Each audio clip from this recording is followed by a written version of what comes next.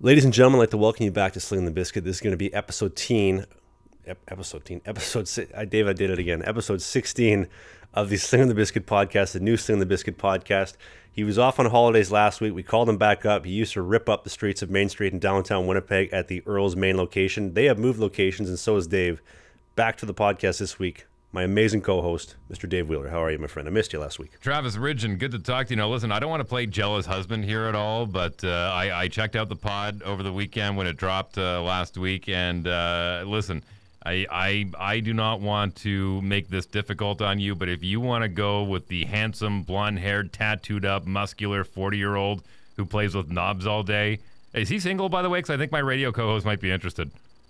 Uh, he has a he has a girlfriend, but he doesn't have a girlfriend. It, it's complicated. Okay, well, listen, like the, the fact that he plays with knobs all day might get my co-host all excited. Which one?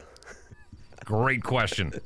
Great question. But no, honestly, the uh, the pod is great. I'm glad you two got to uh, see each other. I mean, pandemic's been hard on everybody, so the fact that you guys got to reconnect after three years is uh, amazing. I'm so glad that he got to come into the locker room and just you know relive the glory days, even if it was for a moment or two. And that's uh, that's pretty cool. He told some pretty cool stories. I'm actually curious to know uh, because he played with the Marlies. I'm curious to know if he actually um, crossed paths with a buddy of mine uh, who I uh, who I played with named Colin Murphy uh, with the Toronto Marlies. So next time you talk to him, ask him if he played with Murph.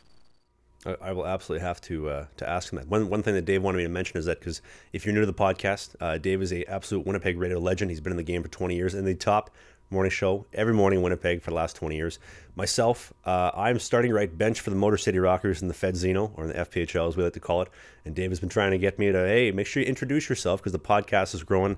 Uh, I think in the last uh, three, four months since we rebooted the podcast and rebranded it, the audience has uh, over tripled, which is is crazy. So, uh, if you're a new listener, if you're on Apple, Spotify, if you're in the car, you're at the gym, you're making lunches for the kids, you're mopping the floors, whatever you're doing, thank you for joining us. If you're on the YouTube video version, it's a privilege to be with you, and uh, we're excited to dive into today's That's podcast. the place to go is the YouTube, so you can go see Rob. Go check out the last episode. I mean, the guy's an absolute stud. Are you, are you kidding me? 40 years old, the guy looks like he could tear the antlers off a moose with his bare hands. The crazy thing is, like, I've known him for seven years, and in the seven years, he hasn't aged. Like, he looks the same when I met him seven years ago to last week uh, when when he left after we recorded the podcast. It's crazy. Now it's funny because uh, he was uh, sharing a few stories and relating his experiences with playing in the coast and playing in the American League and playing, uh, you know, you know, just kind of minor league hockey. And I, I, I never got a chance. For those that don't know, I, I my career ended too early with an eye injury, but uh, I, I kind of lived on vicariously by working in hockey through coaching and uh, being the announcer for uh, a couple teams, including the uh, American Hockey League's Manitoba Moose. And there was a there's a story I got to share with you. I actually told half the story on my radio show uh, locally here in Winnipeg about Kevin Bieksa. And the reason why I brought it up is because he just got honored by the Vancouver Canucks uh, at Hockey Night in Canada. Uh, he's the he, for those that don't get Hockey Night in Canada, it's basically our Saturday night broadcast. It's uh, it's a tradition in Canada. They throw on Canadian teams. It's an absolute it's a tradition. That's the best way I can describe it. And Ron MacLean, who is a uh, you know first ballot Hall of Famer, he uh, he hosts it with a bunch of uh, revolving characters. And Kevin Bieksa has been on for a handful of years since he kind of officially, unofficially retired from the NHL. He's from Grimsby, Ontario, and he signed a one-day contract with the Vancouver Canucks. So that's the team that he was uh, drafted with. He ended up going on with the Ducks. And so when the Canucks and Ducks played against each other, they honored him for the night, and it was it was really cool. It was really special. Now I had a chance to uh, not only uh, work with Kevin uh, when I was the announcer for the Manitoba Moose. So we're going back probably about 15, 16 years ago, and uh, was a rookie. So we're going back to like 2003, maybe 2004, and I was just fresh to Winnipeg as well, and I was the uh, the in-house announcer for the for the Manitoba Moose. And because I'm the same age as this guy, you know, I, I, I knew a few of the guys just by proxy from playing uh, back in minor hockey and junior and whatnot. That I, I, you know, I'd go out with the guys after games and whatnot, and we'd we'd have a few pops. And Fedor Fedorov, for those that don't know, he's the younger brother of Sergei Fedorov, who is the uh, the Hall of Famer with the Detroit Red Wings, wore number 91, won a handful of Stanley Cups with the Wings. So he was the little brother of of Sergei. Now, keep in mind, in the American League, you're not making huge scratch, but Russian brothers, Sergei was feeding him a lot of money. He was feeding him a lot of money. So he had the nicest car, the nicest threads, always had money to throw around, and and he he acted like like he he he just had this this bravado, this hubris around the locker room, and it was one of the it was one of the first few nights I was out with the uh, with the guys, and we were at. Funny you mentioned Mer, uh, Earl's off the top of the show. We were at Earl's Polo Park, uh, which is another Earl's location. Think of it like a. am trying to think what would be what would be the equivalent in the United States of an Earl's, like a upper, like not super high end, but like affordable, like middle class, like nice restaurant, good lounge, good drinks, good looking uh, servers on both sides. Like what, what what would they the equivalent of that be? maybe Coyote Joe's around here. Maybe maybe like a Moxie's. I don't know if Moxie's is still around over here, but okay, all right, so something like that. So, anyways, we're out after, and Fedor is just he's had a few he, he's he's he's had a few moments in the locker room where he you know takes advantage of the rookies, and he decided to pick on Kevin Bieksa. He decided, he decided to uh, pick on on Bieksa.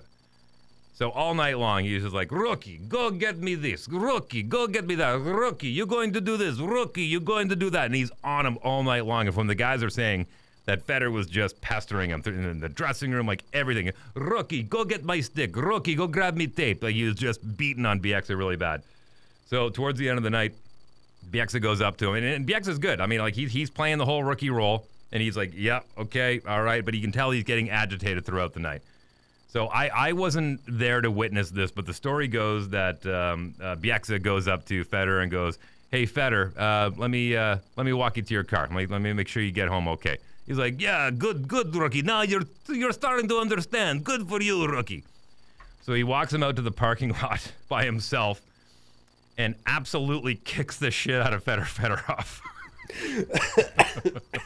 like I, I, I don't, I don't think he was laying the boots to him in the parking lot, but he made it very clear. Okay, I've had, I, have had my fill. This is it. You bossed me around enough, and uh, threw him into his car and sent him home and walked back in and had a few more drinks. But uh, yeah, Kevin Bieksa, if you ever watched him play, he was not a guy you wanted to mess with, and he made that very clear, uh, regardless of what team he played for, even if it was your own.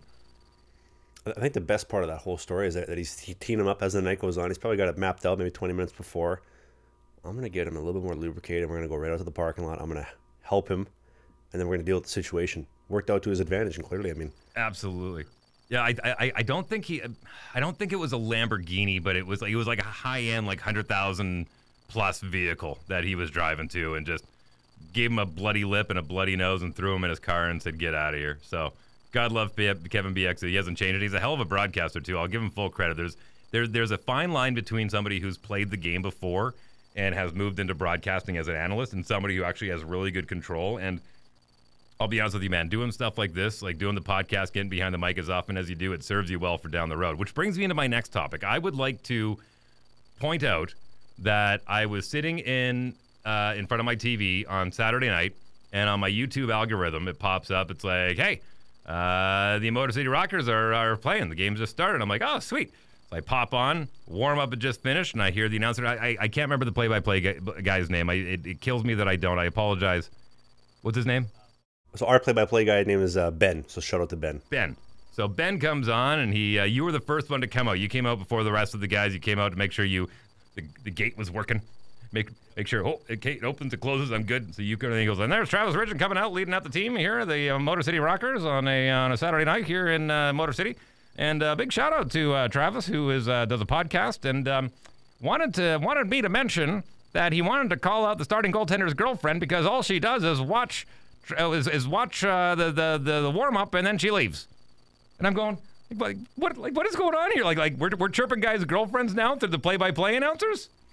Uh, so to, to back that up a little bit, this is actually a great story. I'm glad you mentioned it, Dave. So uh, the, the fellows we line up to go on the ice, and, and one of the guys said, "Trav, lead us out, lead us out." And I'm I'm thinking, guys, I don't have my mask, I don't have my stick, I got my backups hat on. You know, I am just chewing bubble gum. I got like five pieces of double bubble. I'm ready to have a, you know, I'm ready to have a night for myself.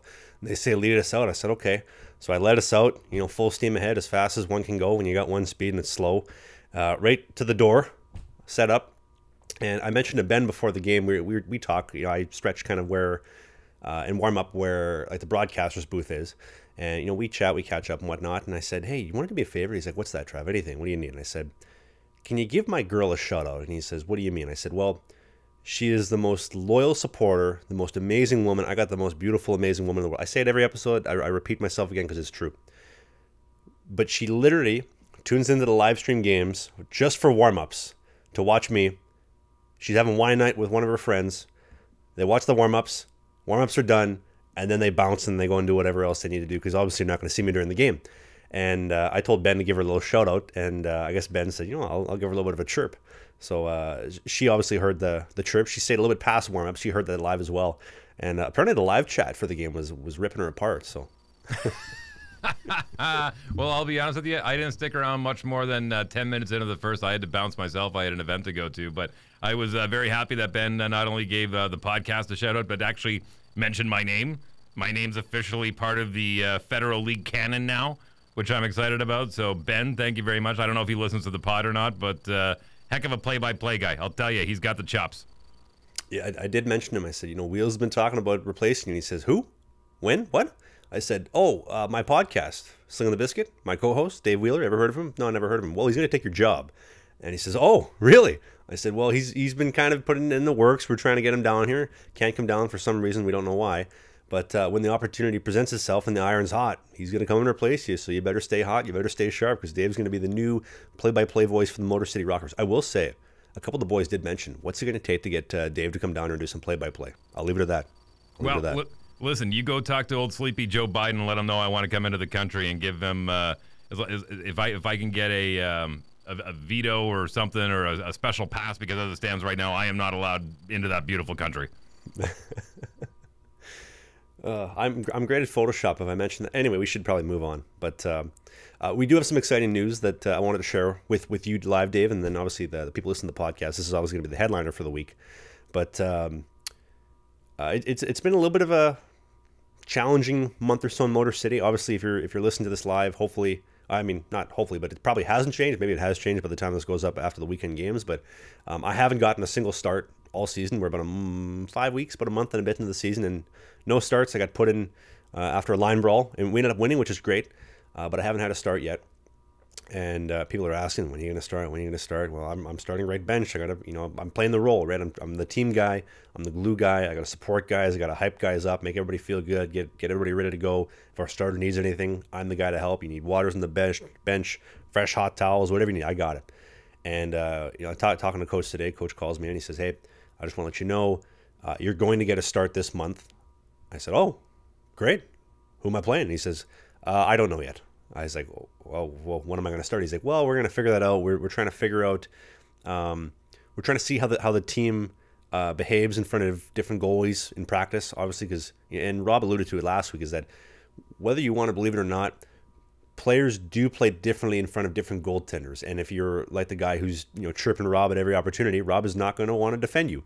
If you're the guy that's, you know, endearing yourself to your defenseman, they'll, you know, they'll go fight a guy, they snow you, all that kind of stuff. So, uh, coach is looking for that kind of stuff to figure out, I guess, what game I'm, I'm going to get, um, eh, which is great. My job is to prepare. I'm trying my best, watching every single game when Babs does play, and, and for the 44 minutes that I've played this season, is trying to like look at what's happening in the game and then recreate that in practice and build off that.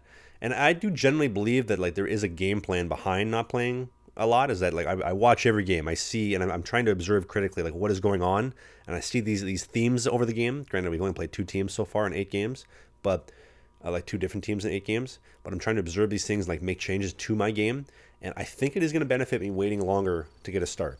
Well, let's give a shout out to the fact that you guys are first in your division right now. I mean, I know you uh, the the Columbus has some games in hand, but you guys are sitting at five and two.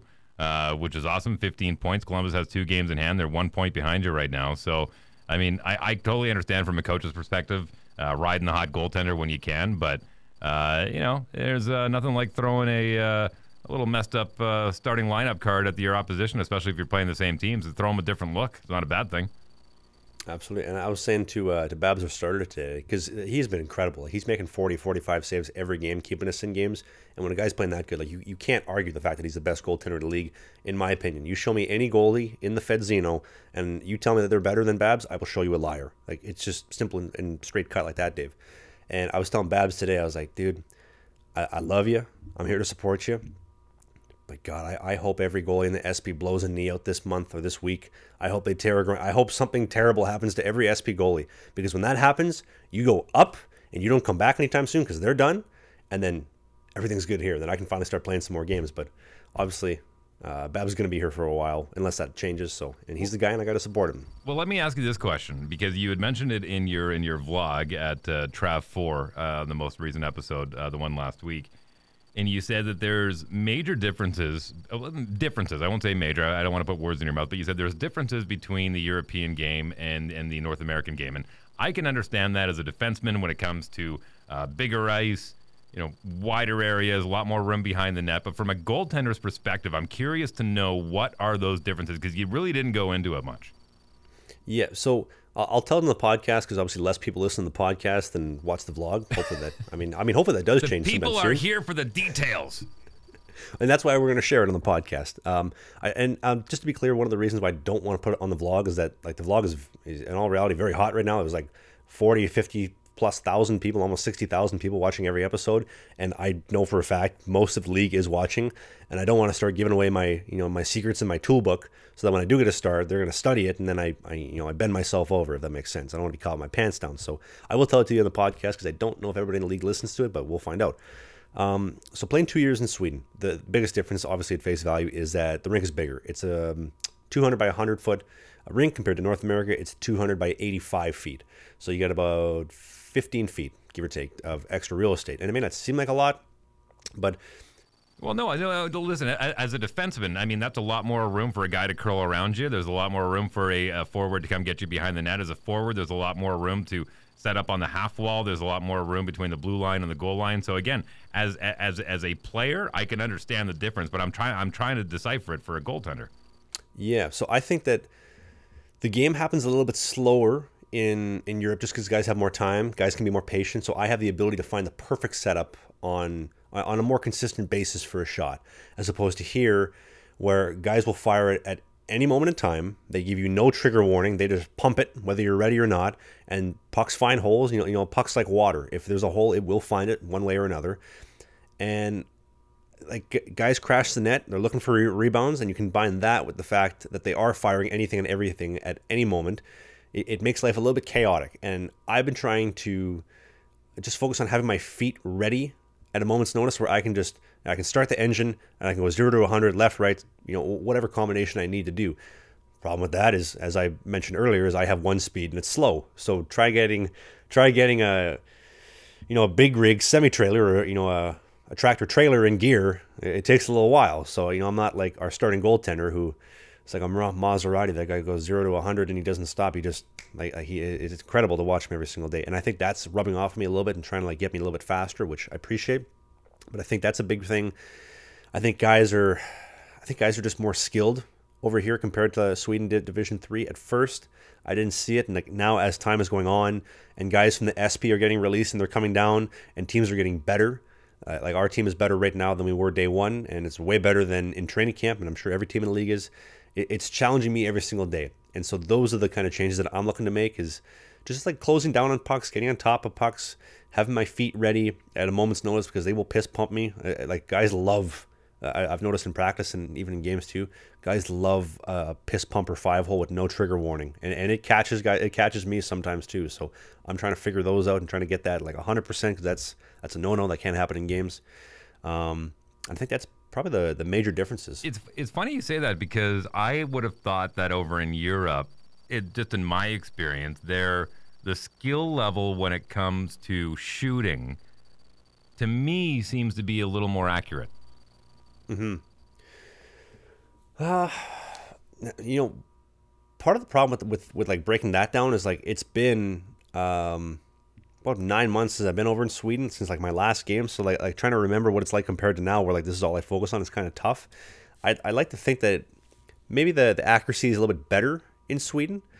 But like guys are skilled here too. Like most of the goals that beat me in practice, like guys are going posted in, they're going crossbar in, they're they're making like the one play they have left that would beat me, and, and they find a way to make that play. So Well, it's funny you said, and just and just going back to last week's podcast when Rob talked about how guys are interchangeable from you know from the East Coast to the to the AHL to the SP and, and to the Fed.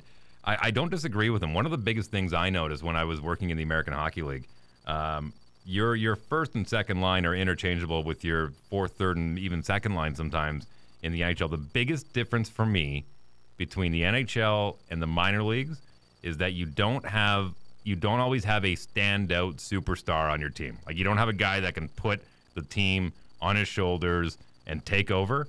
And number two, the passing. There is there are very, very, very few missed passes in the National Hockey League where you'll see guys will get it in the vicinity of players, but it's not right on the tape, and that's one of the biggest differences.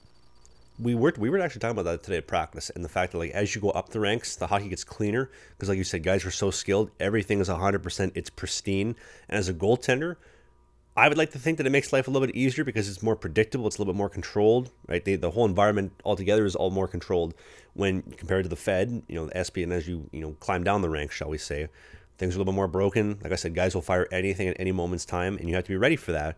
Life gets easier as you go up, but the reality is like I'm not going up anytime soon. I've only played 44 minutes, so I'm I'm trying to accommodate the game right here, right now.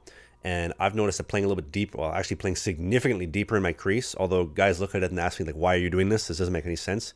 Well, I'm the biggest goaltender in the league, so if I just if I sit in the goal line or if I stand on the goal line and I just focus on like a pivot, so I'm playing on like a triangle, if that makes sense. Is that like a fact? Are you actually, are you actually the tallest goaltender in the Fed?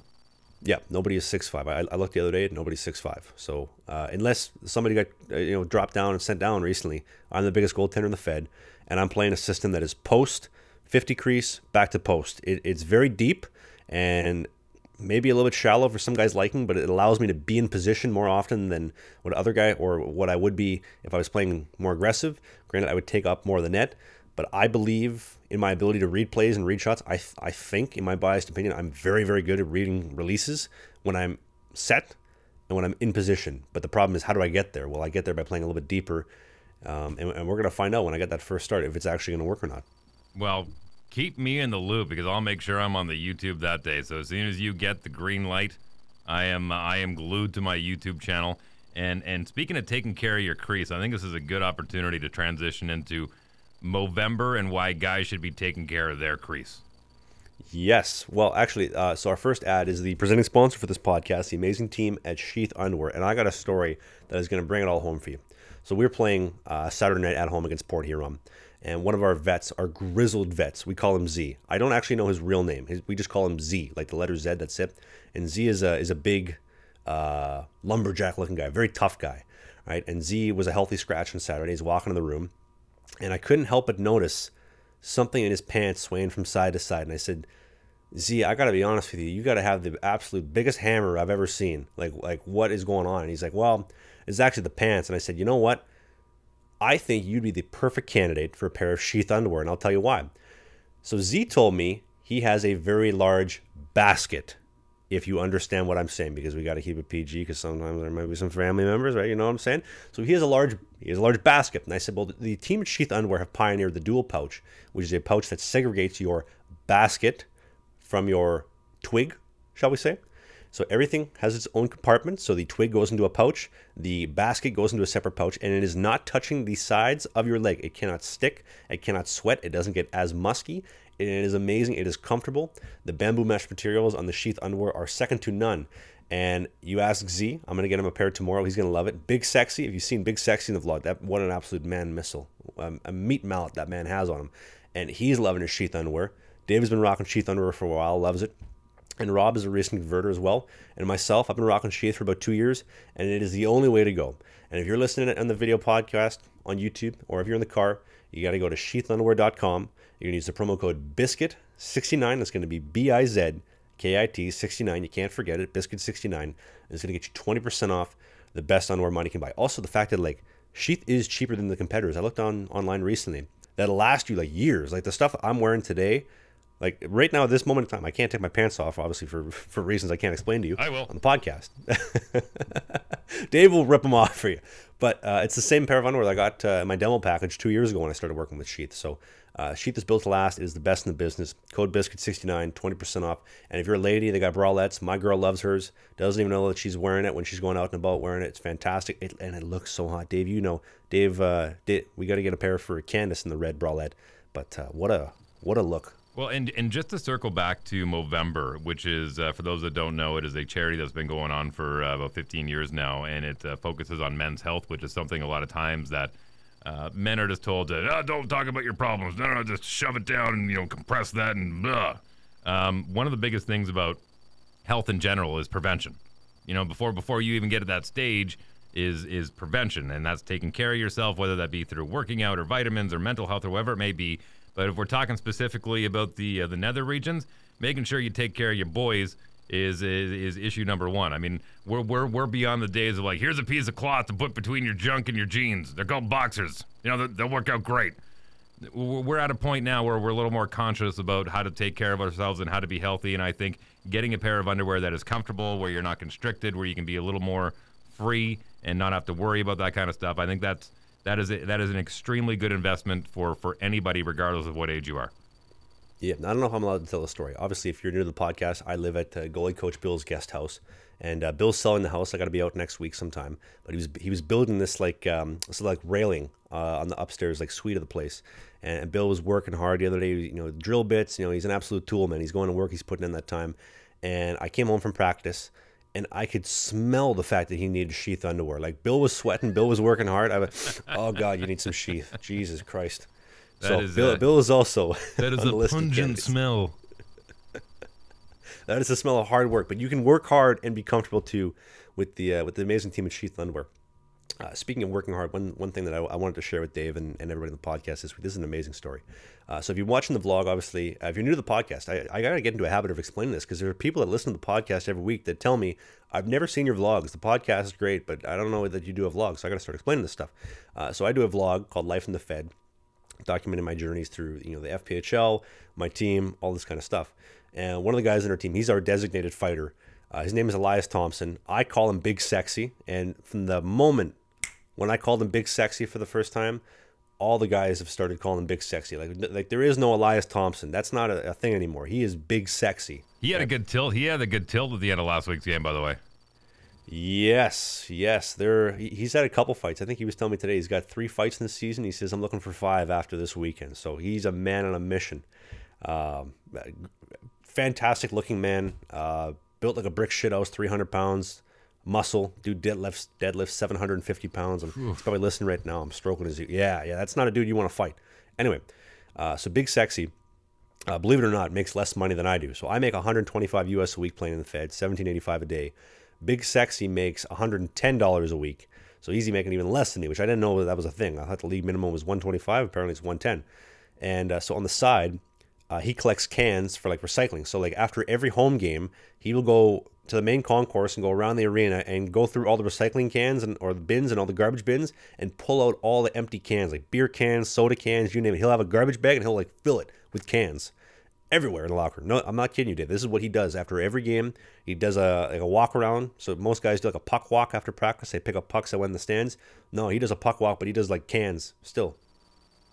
Man, some some guys cut podcasts, some guys are sandwich artists, and some guys are can collectors. Whatever it takes to keep playing as long as you can. God love you. It, it, it's absolutely hilarious. I mean, I absolutely respect the hustle, the fact that he's going out of his way to find these cans, bring them into the vendor, and get you know five, ten cents for cans. He gets himself twenty five bucks a day, but boom, now he's making one thirty five a day. He's making more than I am, and he's got some extra grocery money. So I, I absolutely respect the hustle. We actually did a segment. Uh, which will be on uh, if you're listening to the podcast now it's probably up for sunday's vlog but it's called big sexy side hustle and he kind of breaks down like how he does the whole cam operation it's hilarious and uh, I've, I've been telling victoria about this for a couple weeks and she texted me today. She's like, "Is Big Sexy in Vancouver by chance?" I says, uh, "No, I just left the rink and he was there. Why?" She says, "Well, I was just at work and I saw a man biking by down the street with a garbage bag full of cans, and I thought that was him." Well, those, uh, from what I understand, down East Hastings in Vancouver, those guys are a dime a dozen these days. well, listen, man, everyone needs a side hustle these days. I mean, I, I don't want to get too much into the politics of things, but inflation's through the roof. I mean, regardless of what side of the border you're on, uh, everyone's paying a little extra. People are making cuts. I'll be honest with you. Even here in Winnipeg, uh, with the with the Winnipeg Jets, we had back-to-back games against the original six teams, the Montreal Canadiens and the Chicago Blackhawks, and neither game was sold out. And we got the smallest barn outside of uh, Phoenix, Arizona. We got the smallest barn in the league, and uh, they couldn't fill uh, 15 and change. really, I, I noticed that last year too. Though, when uh, when I went to the Flyers game, like right at the end of the season when I came back from Sweden, um, tickets were I want to say 65, 70 bucks. Bought them last minute on Ticketmaster Exchange, and I would say maybe sixty percent full. Like it was really empty. Like I was able to walk down no problem from the upper deck right down to the front row. Not a problem. No security. No nothing. So yeah, I've I've noticed that as well. There's not as many sellouts, especially like in Winnipeg of all places. Well, listen, if you got to decide between going to see your favorite hockey team or putting food on your table, I think uh, I think the hockey team's going to be a close second. Well, I have been absolutely eaten alive with fines from the guys from from Team Court. You know what Team Court is, right? Yeah, there? yeah, we mentioned this on the podcast a few weeks ago. Yeah, so I've been telling the fellas, this is boys. This Canada U.S. dollar is absolutely just crucifying me. Like I feel like Jesus Christ out there. Like this, like uh, sixty-five or seventy cents in the dollars eat me alive. We got to take it easy on the fines because like, they are pinning me to it. Uh, and but I will be honest, I got a fine the other day, and I absolutely deserve this. I'm, I'm curious what you think about this, Dave. So, obviously, by definition, I'm a rookie in the league, right? So I, I don't have much. Um, but you play pro hockey, like you're a rookie in the league, but you're not like a rookie by rookie standards, are you? Are you? Uh, we we have a like a hockey board in the room, and on the bottom it says rookies, and my name is on the list. So I think they beg to differ. Interesting, because uh, there, there's the old story about Evgeny Malkin and, and Sidney Crosby. They had a little battle about who goes onto the ice last when they when they take to the ice, and uh, Sidney Crosby goes, "Well, you know, we're both rookies," and he goes, "No, no, no, two league, two year Super League Russia," and so that gave him. So that's why Evgeny Malkin goes on the ice last for the Pittsburgh Penguins, and Sidney Crosby goes on the ice second last. So you do have pro experience. So I don't think I don't. I, uh, for me, I don't think you should be on the rookie board. I'm I'm curious. Let to the people listening on the YouTube version, leave a comment down below if you are on the Apple Spotify version. Leave me a, a direct message on Instagram. I'd like to hear from you. I don't think our team cares. Uh, I think our team is, is loving the fact that I'm happy to pack the bus when uh, we go on a road trip this weekend to New York. I'll, I'll pack the uh, pack the team bags up there. I do that myself if I have to. I uh, yeah, I do all the, the rookie stuff when when asked, and it's not a problem. But um, w- when we were on the road in Watertown uh, two weeks ago, uh, when I was scratched the one game, one of, one of our vets, Colts, shout out to him. He says, "Trav, uh, I'm gonna need three hot dogs for the end of the game." And I said, "Why?" He's like, "I like I have three hot dogs after every single game." And I was like, "Well, you don't need hot dogs." No, no, no, no, Trav, go get me some hot dogs. I was like, well, "I don't want to get you hot dogs." He says, "Why?" I said, "Well." The lineup's at the door and I don't want to stand in the lineup. And one of the guys backed me up. He was scratched as well. He's like, Yeah, dude, the lineup's insane. He's like, Trav, I need hot dogs. Get me three hot dogs after the game. Here's some money. And he gives me some cash. He says, Okay, not a problem. I'll go down there and I'll go do it. So I go to the lineup. I waste about, well, maybe not waste. I use about 15 minutes waiting in line. Finally get to the front line. Hi, yep, can I get uh, three hot dogs and a chicken finger for myself? And she says, Sir, we just sold last hot dog. I was like, no, damn it. All right, well, I'll get uh, chicken finger, please, uh, three piece. And she says, um, our debit machine just went down. Do you have cash? And I looked down at my, my hand and I said, yes, I do. so I gave her I gave her the cash the Colts gave me, got myself a little combo, and I thought in my head, he said hot dogs. I don't know if he's a chicken strip kind of guy. I don't. I'm just gonna bring him back the cash and tell him, hey, I owe you five. So after the game, obviously there's a you know empty can of chicken strips in the in the garbage, and then there's 15 bucks instead of 20 on uh, you know Colts' stall, and he says, "Trev, why do I only have 15?" I said, "Oh, I bought myself a, five, a three piece chicken strip combo," and he's like, "I'm gonna max find the shit out of you. You can't do that." I said, "Why?" He's like, "You, I gave you money to get me hot dogs. You didn't get me the hot dogs, and then you used my money to buy yourself chicken strips. That's a five dollar max fine." I said, "Well, they were out of hot dogs. The debit machine went out." I did what I had to do, and I was hungry. And he's like, "Nope, I'm gonna absolutely stick it to you." So he finds me for five bucks. I thought I was in the right because of the variables that I mentioned. I'm, I'm curious again on the, the, YouTube version what people think. And um, we ended up coming to a truce this week. We had to make an arrangement because he was going to ding the shit out of me for fines again. But me, I've been watching him. I saw him take a tumble in warm ups the other day, and I said, I, I got some stuff on you, buddy. Don't you worry. I'll bring some stuff to court. Don't you worry. So we shook on it. We made a truce, and I probably saved myself a lot of money. So I don't know. Make, um, if, if, this guy had a Russian accent, I'd say he may need to walk out to his vehicle. hey, cool. So let me walk you out to your vehicle after yeah. practice. Make sure you get home safe, buddy. Let me get you a few hot dogs. I'll walk you out to your vehicle. See how that goes. uh, assuming that they're not out. Listen, I uh, I I get the whole rookie thing. I think there is a um, there is a period that where rookies need to be rookies, but after that is said and done, then it needs to move on. I I, I, I think we're almost past that in this day and age, are we not? Yeah, the the hockey culture is. I mean, it's evident with, with the Mitch Miller thing. Like the hockey culture is, is in the shitter. It, it, I think it has been for a while. A lot of people say that I'm out of touch and I'm delusional. I beg to differ. Like I'm, I'm still in the game. I'm actively in the game. I see it every day. Like we, we talk about in the locker room. We, you know, a bunch of the guys and myself, we were talking about that today with the Mitch Miller situation. We're all like, this Okay, is the we'll, problem. We'll, we'll fill everyone in because people are going, who who who the heck is Mitch Miller? Does, does he play for the uh, for the Rockers? No. Like I, I tell everyone. Praise the Lord, he does not play for the Rockers. I could only imagine what kind of guy this would be. Anyway, um, this is probably going to be one of the last stories we top off, the, or we, we finish off with the podcast. And just a little bit of a trigger warning. There may be some you know sensitive things we talk about in this little story. So if you got sensitive ears, maybe uh, maybe go watch the vlog, or maybe skip ahead. I don't know, like ten minutes or so. Anyway, uh, so Mitch Miller, uh, and I, I hope I get all my facts right because there's a lot of information here. But so Mitch Miller was playing for the Tri City Storm in the USHL and the U Show.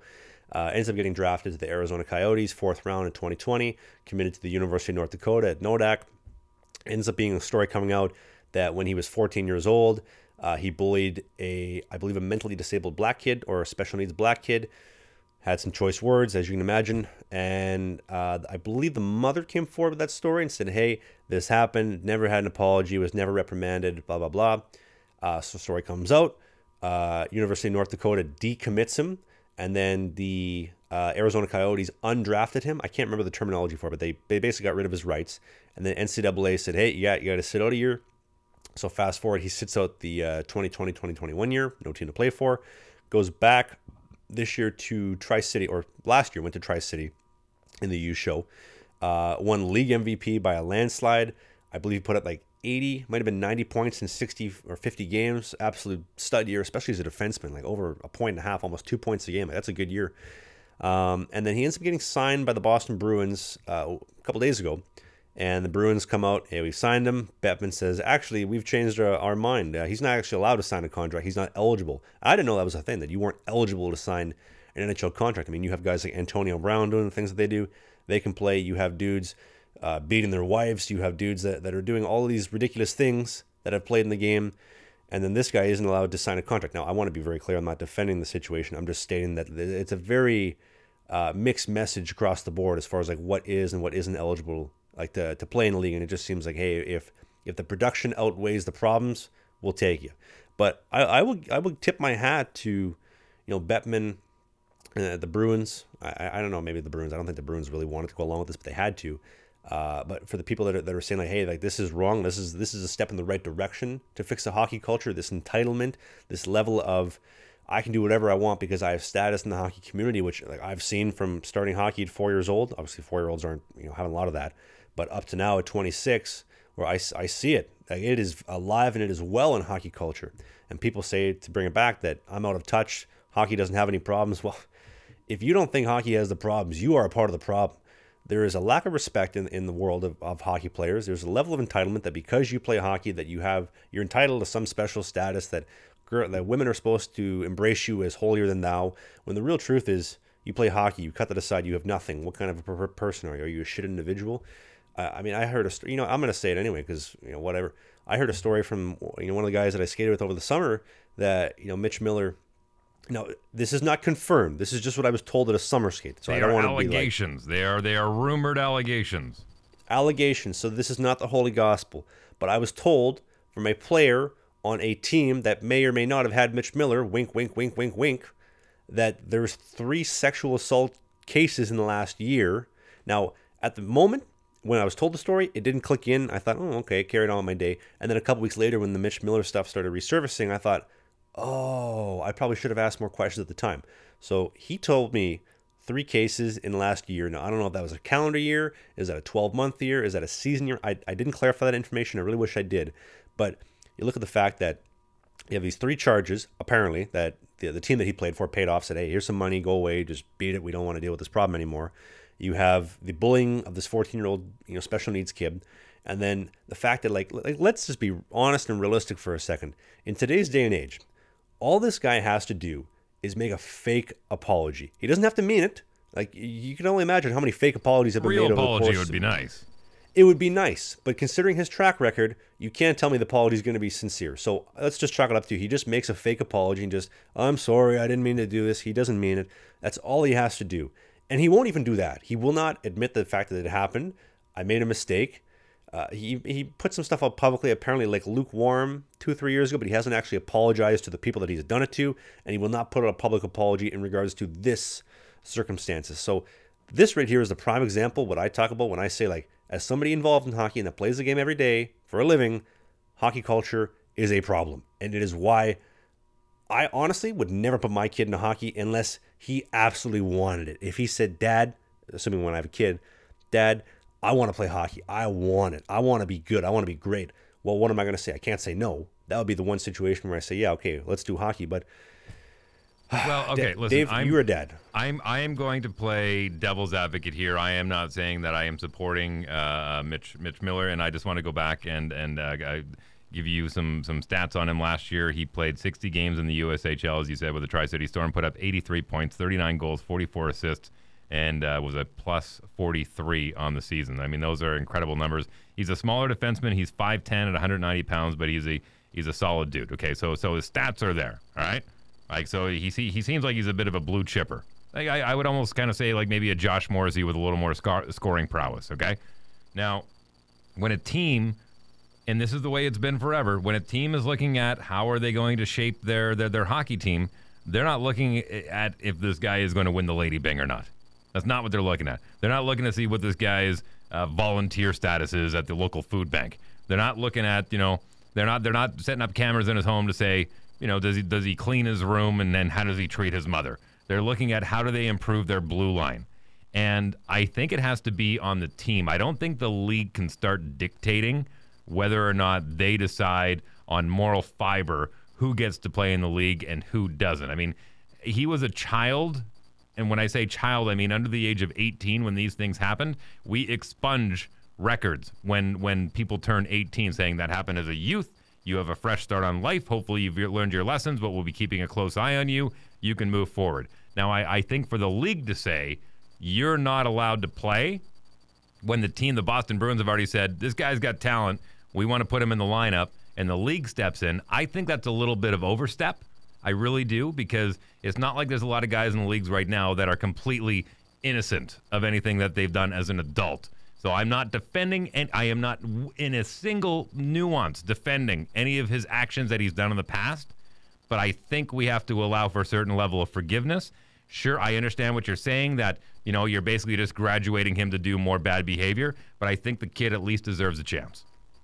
And, and, I agree. I agree with every point you, you made right there. I'm a firm believer in second chances. To be honest, I'm a believer in, to an extent, third chances. But when, when every action the guy has done along the way lines up with the character, and this is what we're talking about, the character of the guy, it, it's hard to look the other way. You know what I mean? So I don't know. Mitch, if you're listening, just have some accountability, dog. That's all it takes in this world. I'm a firm believer. You can make any mistake in this world, and, and a genuine, sincere apology and responsibility, accepting responsibility, I, I think will will make up for it. That's how my old man raised me, and, and I think that that is the solution to, to you know, most problems in this world. But I don't know. I don't know, Dave. You're, you're a dad. What what do you think? Like you got two boys. I know they're not in hockey, but like like what's what what's your two cents on this? When it, when it comes to playing hockey, well, I I mean, like having your kids like having your kids come into the hockey culture. I love hockey. I, I, I grew up on hockey. That that was my culture, and um, as as awful as some of the things were that I grew up with, I think it is moving in the right direction. I actually recently had a conversation with a friend of mine. We were arguing about the whole LIV Golf uh, PGA thing, and I said, "What?" I said, "Well, you got to pull your kid out of hockey just because of what's going on with Hockey Canada." He goes, "As a matter of fact, I did."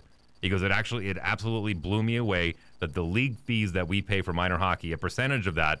goes towards Hockey Canada, and some of that money goes towards that fund that was covering up a lot of the bad stuff that went on. And I talked to my son about it, and I said, How important is hockey to you? And he said, Well, I just kind of played hockey because I thought you wanted me to play hockey. And he goes, I wanted you to learn the game and enjoy the game.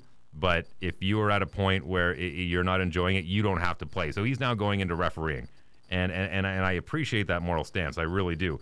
As far as my kids, they didn't show the passion. They enjoy the game, but they didn't say, Dad, I really want to play. I take them skating every Saturday. I think it's important as a Canadian or an American or anybody. You learn how to skate. I think it's a fun thing to do and something you can do later in life. You can do throughout your life. But my, my, my boys didn't show a passion for it. They love jujitsu, they love golf, they love sports. They they just didn't, and I'm not going to force them into it. I'm not I'm not going to live vicariously through my children. Uh, agreed. Uh, yeah, I was telling Victoria this the other night. Like she was asking, not to like change change the subject too much, but you know, her and I were talking about like the future of us together, and like realistically speaking, as a woman who, I mean, most women want this, a woman who wants to settle down eventually, like have a kid, get married, you know, the, the whole shebang. She says, hey, let's let's be honest for a sec. How long do you want to play hockey for, right? Like, she's like, I don't want another Tom Brady where you're like 45 years old and we got unfinished business. Like Tom, you, you have no unfinished business. You're the biggest winner in the history of winners. Nothing's unfinished. Anyway, so I said to her, I said, you know, I love hockey and I love goaltending. Like that that is my absolute passion in, in, this world. I love film. I love flying my drone. I love doing this podcast every single week with you, Dave. But like, you know, one of my core hobbies ever since I was four years old is playing hockey and stopping pucks. As I've gotten older, the business side of hockey, the the I, I don't want to use the word politics because I, I think when people say politics in hockey, it's like um uh, a, like a, a victim word, like oh I was hard done by by politics. That's not the case the business side of hockey that you are, as Rob said last week, you're meat on a hook, bro. You are literally a meat stick on a hook. You're an asset. That's all you really are. That part of hockey has slowly made me fall out of the game, fall out of love with the game over time. And the hockey culture itself of seeing how guys treat each other, seeing how guys treat women, how guys treat people outside of the hockey world, and this level of entitlement, that shit makes me really fall out of love with the game. And I said to her, listen, I love hockey if I could, I would probably find something to do hockey wise that doesn't you know put myself in this culture. But I also love playing the game, and it's a catch twenty two. So I don't. Well, well, the good the good news is it's not everybody. It is a it is a smaller percentage, and that percentage gets smaller and smaller as the years go by. That's the good news. So I don't want every hockey player or everyone involved in the game to be painted with the same brush because I don't think that's fair. Uh, oh, you're a hockey player. I can pigeonhole you right away. I don't think that's fair. The game is improving. The culture is improving. So I don't I don't want anyone to give up on it. But nobody's perfect. No industry is perfect. It happens regardless if it's the sporting industry or you know you're working down at the mill. Things like this happen. We are working on it as a society, and we are filtering out the bad apples. But I, I don't want to paint every hockey player or every athlete, for that matter, with the same brush. Absolutely agreed. And if, if this podcast or if you know sharing my vlogs on YouTube can do some good to show people that in 2022 a good attitude, hard work, a little bit of sandpaper personality with a nose down mentality that can get you results. You don't have to be an asshole about things. You don't have to, you know, go be being passive aggressive and you know putting your elbows up. You can get stuff done. You can be respectable. You can be polite and say thank you and have a smile on your face and shake somebody's hand and look them in the eye at the end of the day. That that still does get results. It's a lot of micro wins along the way that add up to a big win, and it takes time. Don't like don't get me wrong. Like what would I love to like not be in the Fed and be playing in the American League or like you know, having a little more success in my career than I have had? Absolutely. But with the hand that I was dealt and what I've been able to accomplish, it's a lot of micro wins along the way, and, and you can still get stuff done. You don't have to, you know, feed into this bullshit hockey culture that is is alive and well. Like you said, it is getting better, but it's got a long, long, long way to go. And I, I don't know if it's going to happen before the time I have kids, which is a scary thought as well.